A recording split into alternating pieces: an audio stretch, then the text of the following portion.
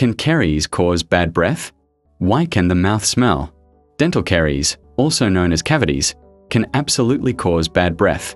Cavities form when bacteria in the mouth break down sugars and produce acids that damage tooth enamel. As the tooth decays, it creates small holes where bacteria and food particles can get trapped. These trapped bacteria release sulfur compounds and other substances that produce a strong, unpleasant odor. However, cavities are not the only reason your mouth might smell bad.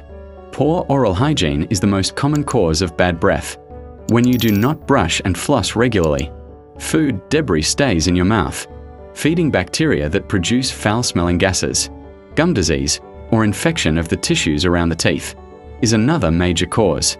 Bacteria in infected gums can create toxins and odors that are difficult to remove without professional care. Dry mouth can also lead to bad breath because saliva helps. Wash away food particles and bacteria. Without enough saliva, odor-causing substances stay in the mouth longer. Other factors include a coated tongue, which can harbor bacteria, certain foods like garlic and onions, smoking, and some medical conditions such as diabetes or throat infections. The good news is that most cases of bad breath can be prevented.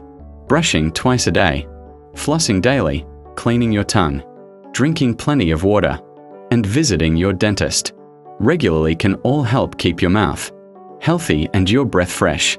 If you notice persistent bad breath even with good oral hygiene, it is important to see a dentist or doctor to check for underlying health issues. Science made simple for everyone, everywhere. Like if you learn something new about your mouth. Subscribe for more dental health secrets. Comment, what's your biggest breath concern? Share to help friends with fresher breath.